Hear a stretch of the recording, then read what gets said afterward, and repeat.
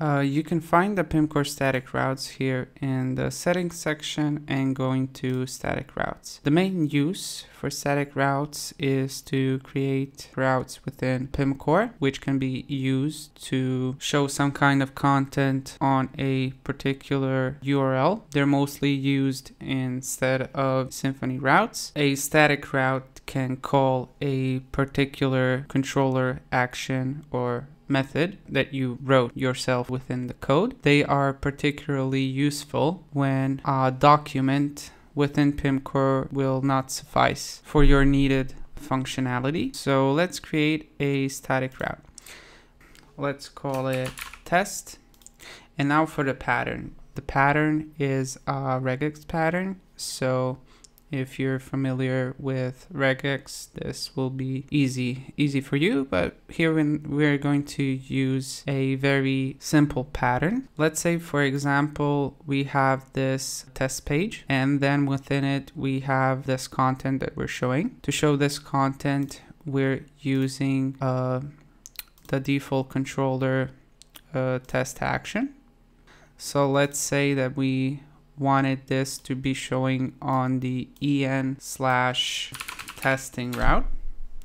This will show us an error because the page currently or the URL currently doesn't exist. So let's create it.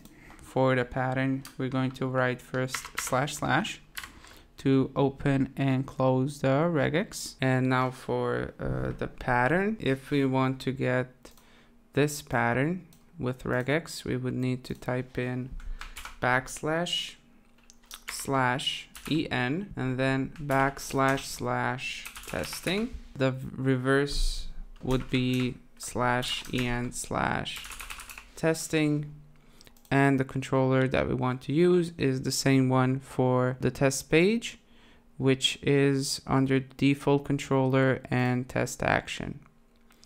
Uh, this will give us the same results as for the test page. We have no variables, defaults, uh, nothing. We can just set the priority to one.